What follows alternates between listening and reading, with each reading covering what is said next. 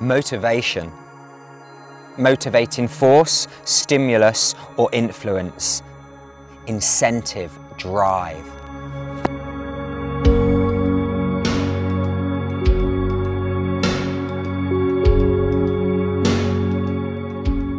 You know, for me, when I'm lacking motivation, I think of my family because, you know, th th this is my job. You know, I have to, you know, I think of, I think of crossing that finish line, giving everything. And giving everything on the day is one thing, but knowing you've prepared and given everything in your preparation is another thing. To be beaten by this much or this much and know you missed a session here and here, that's not good. That's not good enough for me. So I, that, that's what motivates me. Um, I know you know, come race day, it doesn't matter if you've, you haven't done the training, no one cares. So you do the training, you know, you, and I'm lucky, I love this sport. It's, it's an amazing, triathlon is just, just awesome. It's given me so much. Um, but yeah, no, definitely my family really helped motivate me. You know, when things don't go right in my preparation, if I have a, have a sore calf or I, I get ill, when I was younger, oh, I'd get so frustrated and so angry and normally ignore it for two or three extra days and then I'd really hurt my leg or really get ill. But now I'm lucky, I've got experience on my, on my side and I definitely know you have to respect the body, you have to respect the process. If, if, if a Formula One car is not running smooth, you hear the engineers say stop, stop, stop. We have to treat our bodies like Formula One cars and we have to stop them before they really get damaged. Um, you know, and in that moment, I'm very practical. I, I, then I change my, my mindset and my focus, and it goes from the, the original goal of doing well into races. Given this situation, how can I best get on track?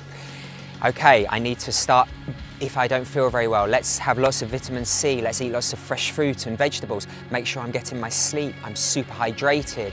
Um, you know, maybe go into a steam room to try and, you know, help open up my, my nose and my lungs. You know, then I just change my goal and my focus because there's always something we can work on to be a better athlete. Even when we're injured, um, you know, the, the focus doesn't go on winning the race, it's getting back to normal training. It's using the equipment, maybe cross training, doing some extra swimming because you can't run.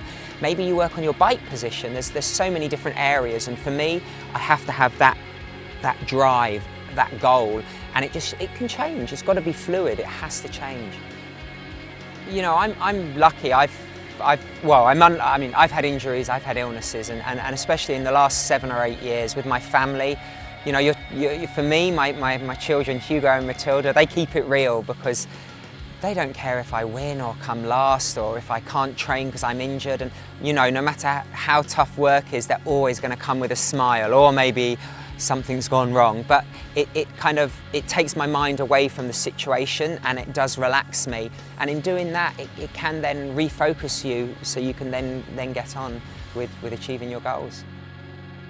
You know, when I've had setbacks, you know, when you do that first session and you look at the numbers and it's just that relief, that weight is lifted off your shoulder. I can see, sure, my heart rate might be a bit high, but the pace is there.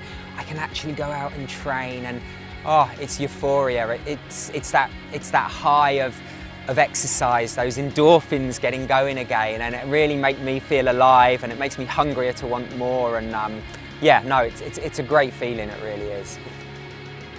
There are always going to be times when, when it's hard to get out of bed, to commit to that session, to do the extra 45 minute bike ride that you need to do.